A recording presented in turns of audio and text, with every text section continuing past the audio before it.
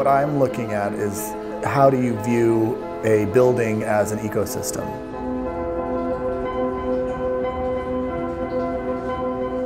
When you look at a building that has 60,000 square feet and it has retail space in the bottom and then um, offices upstairs, how do you create a diversity so that people can come and have multiple experiences? So when you come and you have yoga at 7 in the morning and you go down for coffee and then you come back for lunch, come back at night, grab a cocktail, come up to Deer Pile for a show. The studio doors are generally open at night too, so you can go into the artist studios, and that's an entire experience.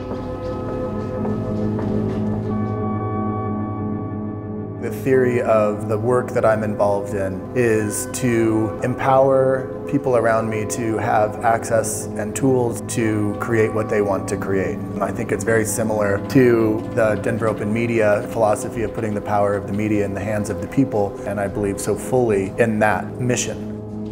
The dinner on December 4th um, is something that we're always excited about between uh, City O City and Denver Open Media, this collaboration of food and spirit. So yeah, we're excited to, to be a part of it.